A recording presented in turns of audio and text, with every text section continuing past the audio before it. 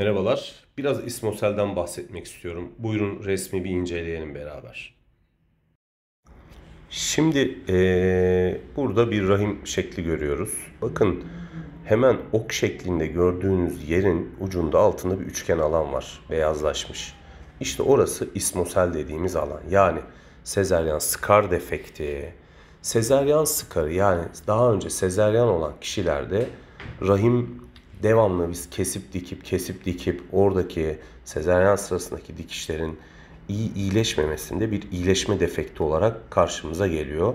Özellikle de kısırlıkla, adet sonrası kanamayla, lekelenme şeklinde kanamayla, ağrıyla hatta dış gebelikle bize karşımıza geliyor bu ismosel olgusu. Kimler ismosel için risk altında peki diye soracak olursanız bir kere hamilelikte veya hamilelikten önce kilolu olan kişilerde obezite bir risk faktörü.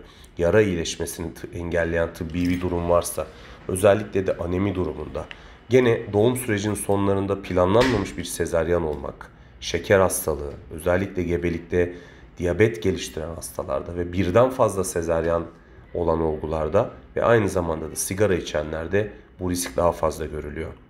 Genellikle literatürde bildirilen oranlar e, bir sezaryen olanda yaklaşık %24-70 civarında ancak dünyada sezaryen oranlarının artmasıyla beraber ki Amerika Birleşik Devletleri veya Türkiye'ye baktığımızda %30-40 hatta 50'lere varan oranlar olunca bu e, antiteyi daha fazla görüyoruz.